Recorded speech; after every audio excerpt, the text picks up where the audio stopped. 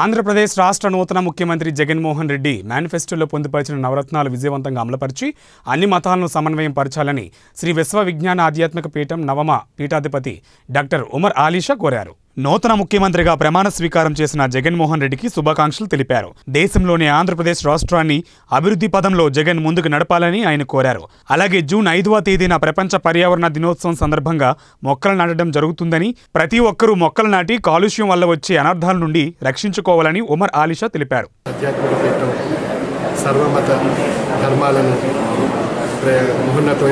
జ్ఞాన చేస్తూ జ్ఞాన మార్గంలో పయనింపజేస్తూ ఈశ్వర ఏకత్వ ప్రతిపాదనతో కూడినటువంటి తాత్విక జ్ఞానము శ్రీ విశ్వవిజ్ఞాన విద్య ఆధ్యాత్మిక పీఠం శ్రీ విశ్వవిజ్ఞాన విద్య ఆధ్యాత్మిక పీఠం తరఫున వైఎస్ వైఎస్ జగన్మోహన్ రెడ్డి గారికి నా యొక్క ప్రత్యేక శుభాశీస్సులు శుభాకాంక్షలు తెలియజేస్తూ వారు ప్రవేశపెట్టినటువంటి నవరత్నాలు మంచి అభివృద్ధి పథకంలో ప్రజలందరికీ అందుబాటులో ఉండి ఆ ఫలాలు అందరూ ఆంధ్ర రాష్ట్ర ప్రజలందరూ అనుభవించి ఆరోగ్యం ఆనందం సంతోషంతో మనుగడ సాగించాలని వారికి నా యొక్క ప్రత్యేక శుభాశీస్సులు తెలియజేస్తున్నాను.